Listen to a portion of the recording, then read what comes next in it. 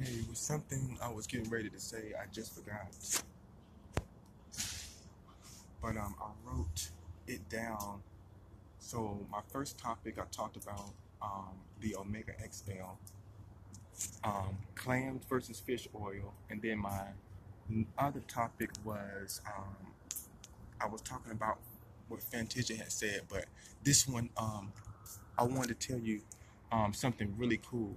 Um, Michael Jackson has a song called um, "Someone Put Your Hand Out," and you have to decode it to understand what the message was saying in the song. It's really, really scary. It, it's scary. Like you will be terrified as hell. Now, the message said it was a, it was a lie. He said um, he said someone put your hand out because all I do is hand out. And if you decode that, you know, um, it's self-explanatory. He's basically saying that he's a giving type of person within his heart. You feel what I'm saying? Because he was just that generous type of person. You got to understand, Michael didn't have a the childhood that he thought he should had. He didn't. He didn't have that. So, um, and not only that, you know, he was immediately um, rushed into the entertainment industry at a very young age. So that really did capture his most of his childhood. That's why he came out with that song, Have You Seen My Childhood? You see what I'm saying? Now listen to this.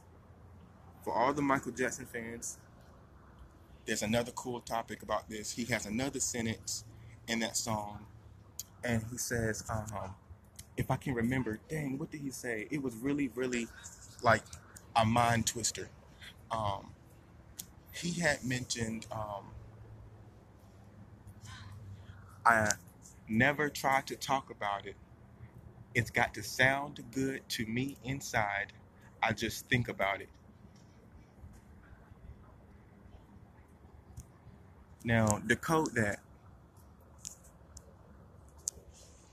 If you think about that and actually sit there and decode what he just said, he said, I'm going to say it one more time so you can hear me because it's a tongue twister and it's not, but it's kind of, um, it's something that's a person listening to that song would never even hear him say. They would have to go look up the lyrics because the pitch and the tone in the song was lowered. So you really had to like some people heard it and some people did not hear it.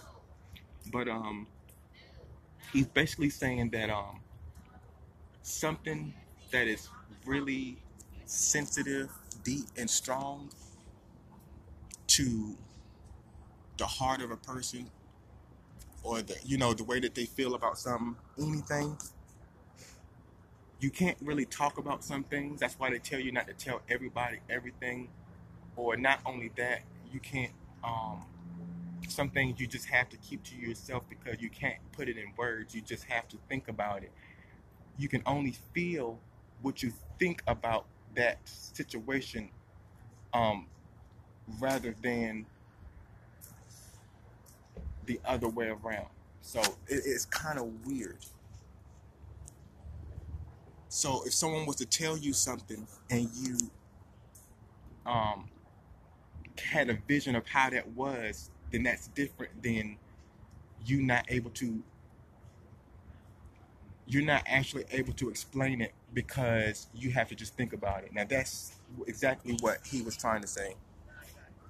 So anything that the industry had put on Michael Jackson, like and I mean literally, anything that they had put against him you know, everybody know Michael Jackson had talent, and he still does. I already told you guys about the message of him. You have to decode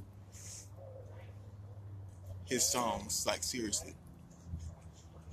But go listen to that. Now, I did some research, and they're saying that someone put your hand out actually came out in two, 1992, the year I was born, and then I also did some research and said it the internet actually pulled up that um, it was um, released in 2004. So it may have just been a copy.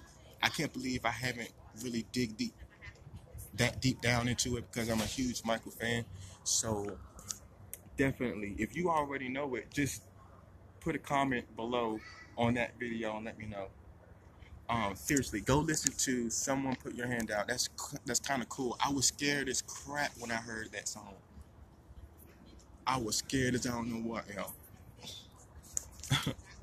but remember, he he scared people. Michael Jackson scares people on. He scared people on purpose because they scared him. You see what I'm saying? He's been the type that showed his good side for all those years, and then when he finally reached his peak in his 20s and he started to branch out on his own, that's when he started to pretend like he was bad, to put on a bad image to protect himself because they were treating him bad. That's the reason why. It's a you have to decode everything that he does.